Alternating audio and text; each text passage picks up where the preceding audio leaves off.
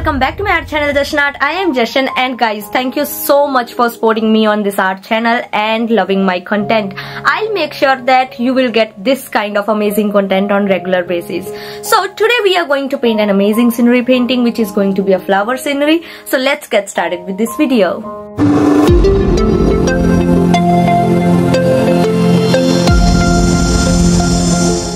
Guys, as you can see, today's setting is a bit different. I am not going to use easel today. I am just going to paint here on my study table. I am taking all the needed colors out on my palette. My palette is also kind of beginner's palette. I bought it about uh, 11 years ago when I just started painting and uh, it's a lot of time guys as I have taken all the colors in my palette and these are acrylic colors, now I am going to start painting our scenery. I have mixed blue and white and going to paint the sky. I am starting with this. I am not uh, going to draw any kind of sketch today. I am just uh, going to start painting using my brushes. This makes me feel good and this is my style. As I just told you that I am not going to draw any kind of sketch but I am going to paint some dark shades directly um, where I am going to draw trees or where I am supposed to draw some kind of soil or something. I am going to uh, paint appropriate dark shades on all the places. After covering full canvas with basic shades, I am going to add details.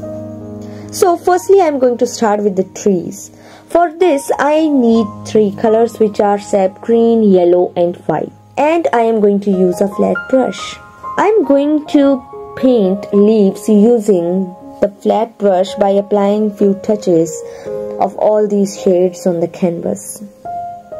Now I am going to paint some yellow grass under the trees. For this I am firstly taking some burnt sienna in yellow and going to apply some touches and then I'm going to use white and yellow paint to make it look like somewhat realistic. Now I am going to paint small plants near these using green paint and then I am going to paint some green grass like leaves. These leaves must be big in size so for this I am going to use big size round brush. I am going to start with dark shades. Now I am going to paint grass using blue and green paint. I'm going to mix these two together and going to paint some grassy leaves using this. After painting all these with these dark shades, now I'm going to add details using yellow paint. So now I am going to paint some grass leaves using lighter shades which are uh, parrot green or yellow or mix up of white and yellow so I am going to uh, use all these shades to paint more leaves to make my painting look more realistic guys from this painting you can observe that we need to paint with dark shades first and then we need to move towards lighter shades on the top of dark shades. Now I am going to paint the flowers using round brush. I am going to paint the petals easily. This is really easy guys. But before starting to paint, I made sure that the colors are dried up in the previous layer because I really don't want to mess up in my painting.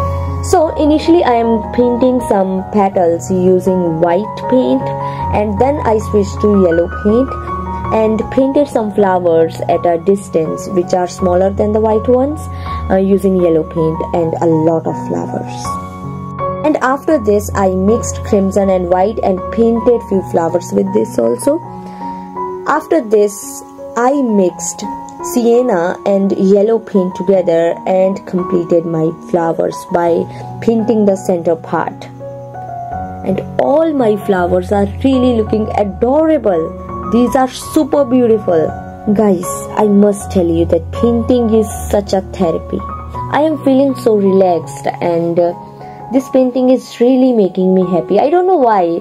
When I paint sceneries, I feel internal happiness. I can't get same kind of happiness when I'm painting some kind of portrait or something, but sceneries, I really love painting these.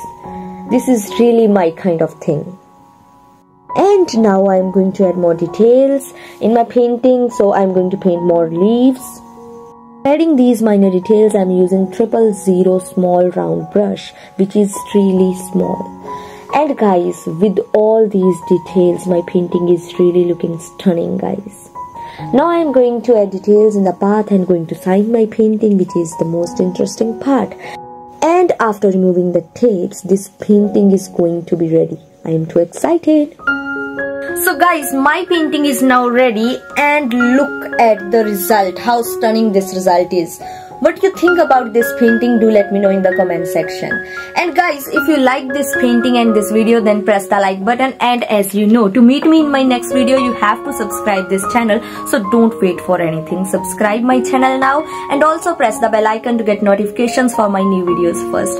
And guys i will meet you in my next video. Till then bye bye take care. You are amazing. Thank you so much for watching my videos and supporting me. You are amazing. Take care